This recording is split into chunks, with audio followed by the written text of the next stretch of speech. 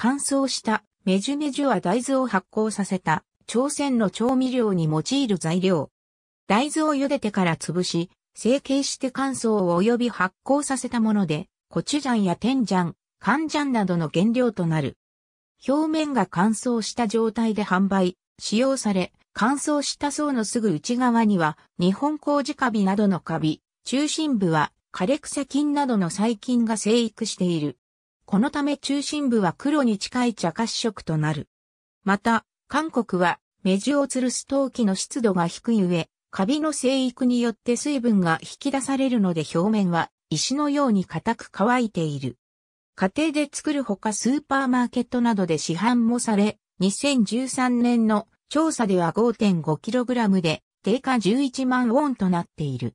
ここから7から 8kg のカンジャン、15から 20kg のテンジャンを作ることができる。形状は様々で、レンガ台ぐらいのサイズの脳型体であったり、板状、球形などのものがある。なお、全羅北道受賞軍ではコチュジャン向きに特にうるち米と大豆を等量ずつ混ぜてドーナツ型に成形したメジュを製造している。朝鮮には牡蠣のようにメジュとそれを用いた調味料作りに関することわざがある。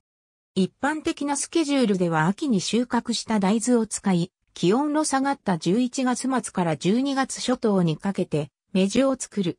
伝統的なスケジュールでは、冬至や年内最後の鳥の日に、メジを作り始め、旧暦1月の馬の日に塩水につけて、天ジャンを作る。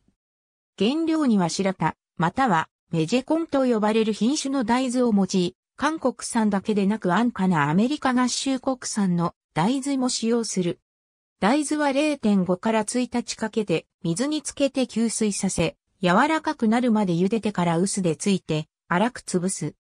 これを両手で集めて板に叩きつけながら脳型体にまとめたり、朝織物の付近を敷いたマスに詰め込むなどして成形する。細かく潰しすぎたり、成形時に圧縮しすぎると空気を通さずメジュの内部が腐敗しやすい。この段階から大豆の塊はメジュと呼ばれるようになり、形を整えずに塩を混ぜて発酵させると、チョングッチャンという納豆様の食品になる。成形されたメジュは1から2日板の上でそのまま乾燥させ、崩れにくくなったら縄をかけて天井に吊るし、40から45日間かけてカビを生えさせる。一般的には屋外に吊るすが、積極的に枯れ草菌を増殖させたい場合は、温ドルで保温された室内に吊るす。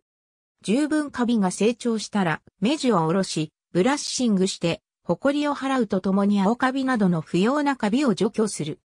主に白カビだけを残した状態での木先に吊るし、1から2日かけて太陽光と外気に当てると完成する。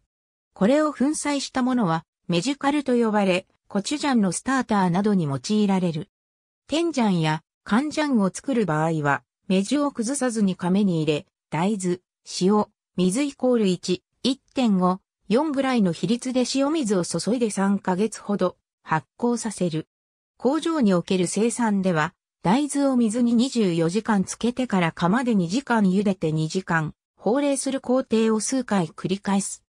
柔らかくなった大豆は、機械でミンチにし、型に詰めて成形する。成形されたメジュは角を丸くし、棚板に並べて乾燥機で2日間ほど乾燥させる。これを発酵室で稲わらと交互に積み重ね、場合によっては、麹カビや枯れ草菌を選択的に摂取する。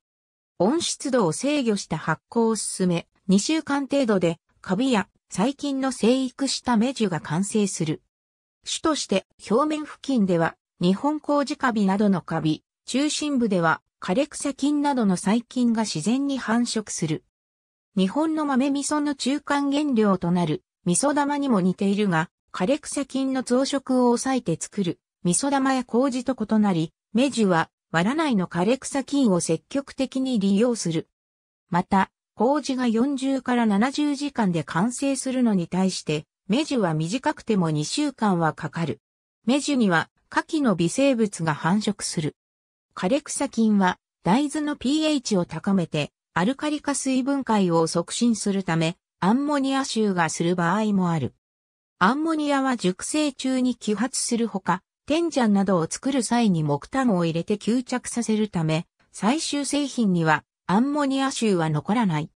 一方、枯れ草菌は納豆菌の禁煙のため、最終製品に納豆のような匂いがする場合もある。朝鮮の皮塩に関する最も古い記録は三国式に見られ、統一白木の初期に味噌などが作られていたとされる。皮塩の具体的な製法については、民衆9年に発行された旧考察用に多くの記述があり、15世紀前半の清掃の知性に大きな進展があったと考えられる。また、17世紀から18世紀の東違法館や山林経済などの書物には大豆を発酵させた味噌や醤油についての記録が多く見られる。1876年に日朝修好蒸気が締結されると、朝鮮半島へ移住する日本人が増え、1889年までには日本人などの経営する皮塩工場が朝鮮で17カ所に上っている。日本統治時代に70カ所を超えた皮塩類の工場は第二次世界大戦後に減少したが、生活の変化とともに皮塩やその原料の目地を生産する工場は増加している。2011年の調査では、韓国内の36.3%の家庭が、天ジャン、20.1%の世帯が、カンジャンをそれぞれ自分の家庭で作っている。ありがとうございます。